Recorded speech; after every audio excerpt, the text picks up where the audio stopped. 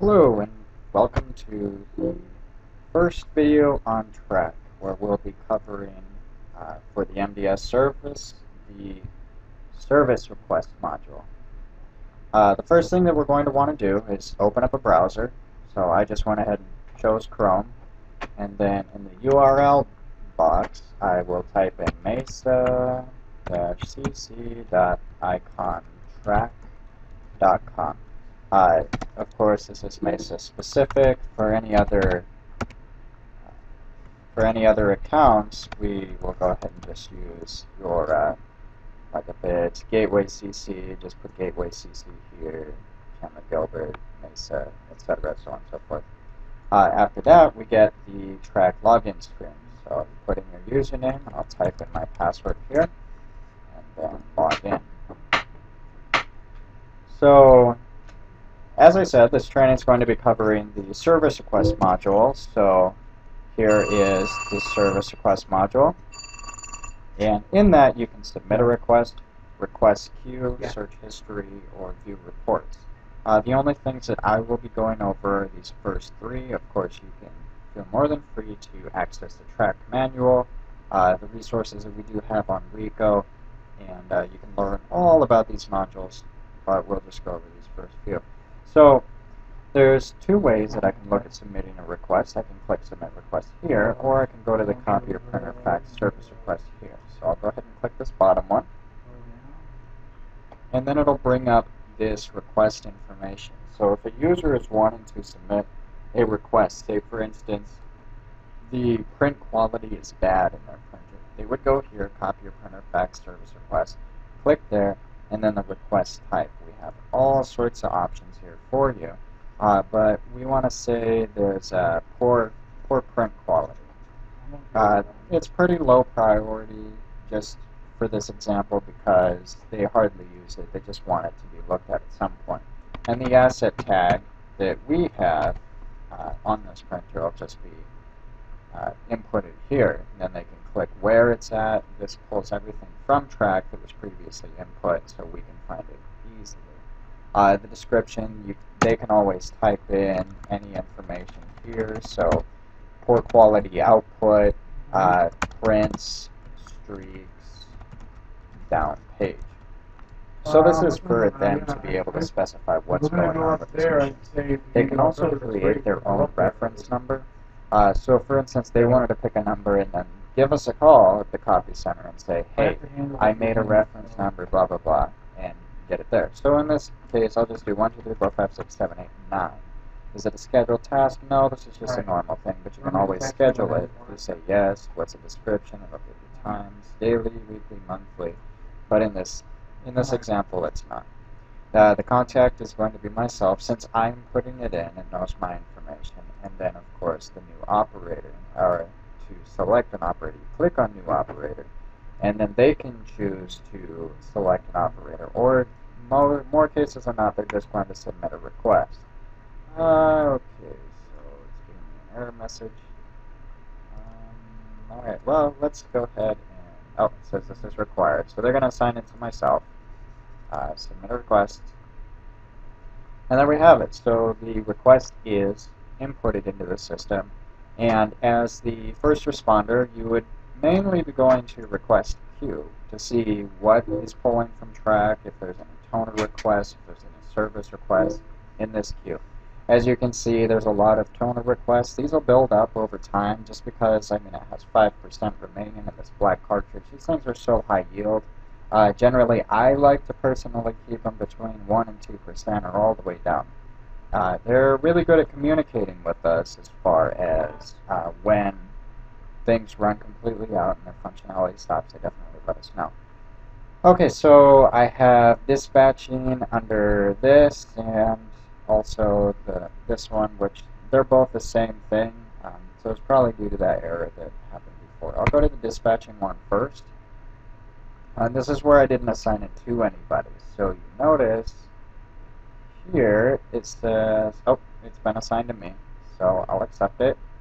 Uh, if you go on the left-hand side here, you can also choose other technicians to place over here. So say, for instance, I wanted to remove myself. I removed myself and I wanted to put uh, Todd Salvo. So I would just take him and I would put him over here and he can come in and accept it or if this is him you can click auto accept so on and so forth. So let me go ahead and move that and I'll put myself back in there. Oops. Uh, click the right arrow, there we go. And then auto accept start. Now I didn't really have to do anything but I push start when I'm starting the job and then when I'm finished replacing the toner cartridge or doing whatever I can click complete. So once you click complete, this is a setting that you can change in your preferences, which will go right, right after the explanation of this and the search history, uh, where you can disable this or enable this and change some other settings. Uh, we require at this uh, account that the resolution for the ticket be inputted. So my resolution is just uh, test submission for video. I'm going to go ahead and copy that just because I know I have to close another one. And just update the ticket. Since this has been completed, the request will go out of uh, the request queue once you push update. Oh. Okay, so it's telling me that it's loading, it's waiting. And don't worry if it takes a little bit of time to load. Sometimes the system will uh, get slower at parts of the day just because access to TRAC and how many people might be using it at any given time. So sometimes it does load for a while. Uh, I'm going to go ahead and just pause it until it finishes. Okay, now that it's uh, finished loading there, we end up coming back to the request queue after that's been completed. As you see, the second one is gone, so I'm going to go ahead and do the same thing. Go into product view, we can see where it's at. That's another good specification that we should talk about as well. We know the serial here, the service tag number, the make, the model, uh, where it's at, what floor, what building, etc. Uh, all that information will actually be right underneath this name. Uh, so I'm going to go ahead and take it myself, auto accept, start, and test submission for video. So okay, update, and there we go. So as you saw, it's a little bit faster this time around. Uh, so that's how you uh, place and complete service requests. You can see okay. a quick view here and just kind of a basic description. But if you want more, you go into product view. You want to actually do it, go into product so the next thing is search history. Say okay. for instance, I want to right. check, um, like what is the history on 122.19480, which I just put in. Uh, multiple tickets for this, and uh, in order to go through the, through the ticket. Um, let's see. State selection date range. Uh, da, da, da, uh, maybe that's it. There we go. Submit. Okay, so that's just me uh, here's some request numbers. And it doesn't look like this is uh, working out the same exact way that I wanted to, is it? Uh, let's see. Uh, yep, there's that. It was completed today. And it looks like the same printer. Here's the service tag. Okay, let me go. You can always print that, the maintenance history. Let's go to maintenance history and see. Okay, great. So here is some maintenance history. I guess it was just backwards, so I apologize about that. Um, and you can get all the tags and maintenance history on this printer. Uh, so that's kind of how search history works. I made a mistake. Don't use the Edge ID. Just go in the local ID, or even if you have a serial number of that printer, you can always put that in. That's going to yield uh, much better results for you. And of course, you can specify who did what. Uh, I've just select all operators for that.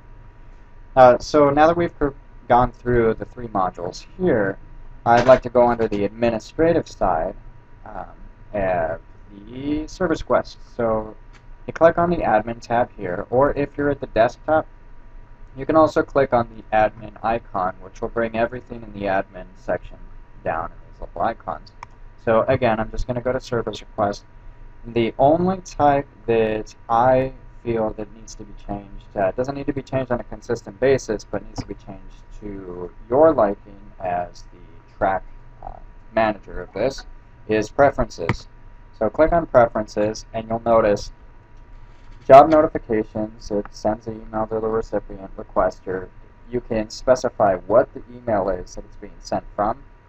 I just have a generic do not reply iofficecorp.com. Uh, and then the email CC is myself, since I am the first responder for this account. Uh, I would put my email here so that I will get it whenever any service request gets put in. Uh, you can also give them feedback and type in a specialized message here if you'd like. Your Ricoh service supply request has been received. Um, we will be glad to uh, help issue, you know, something to that effect. I'm just going to keep it plain simple for ours. Uh, and then the footer, thank you. Uh, Ricoh service ticket has been resolved. Once we complete it, this, this message will propagate to uh, whoever CC'd on it and whoever put in the submission as well, if they put their email address in there. Uh, another thing is you might want to allow the operators to delete maintenance requests just in case there's something in there. Like I could have deleted that extra one uh, instead of just completing it. Uh, another thing is allow tracking of third-party invoices. Uh, be careful. Just talk to your manager about whether this should be checked or not because it depends on how your invoicing works uh, you may not have those third-party invoices going through TRAC. So uh, let's see, ticket summary. Of course, we want to include a ticket summary so people know what's going on from the same email address, CC yourself, and then this is going to whoever is being assigned that ticket. So if I chose a different operator, they would get an email at their ticket that's specified within the users in the admin field. Um, you've been assigned to a new request. Of course, put footer tickets, and then here's some extra options. Smartphone dispatching, if you want it to go to your smartphone, you definitely can do that. Uh, schedule tasks, you can schedule your tasks if they would like to do that as well. Uh, auto archiving, allow auto rejection, so if somebody doesn't reply within a specific amount of time, it will it, like it'll automatically reject the ticket from them and assign it to somebody else. Uh, call third-party web service. That's dependent on your account. Speak with your manager about that. Uh, require resolution. This is the area that I was talking about where that separate pop-up box comes up when you complete the ticket. If you have this unchecked, you can just complete the ticket and close it. But if you have it checked, it'll require you to put in what you did to finally resolve it. So, say for instance, uh, replace toner. That was the only thing that was needed. You just say replace toner, save, update, and you're done. Uh, enable reference number. This is a nice thing that I like to keep just because it'll allow us to do it for internal reference numbers and then we can write down the number and say, hey, yeah, can you just reference this ticket number, blah, blah, blah, blah, blah, and then I can find it really quickly. So I didn't want to make any changes from how I had it, so I'm just going to cancel out of that. Again, the first thing you see is desktop. You can go through here, where they have all the icons, or you can just go through the tabs. You click on service request if you want to submit a request, submit request queue, and uh, then of course if you want to search through the archived ones, search history. So that's it for the service request. So that's all of service request in a nutshell, hope this helped.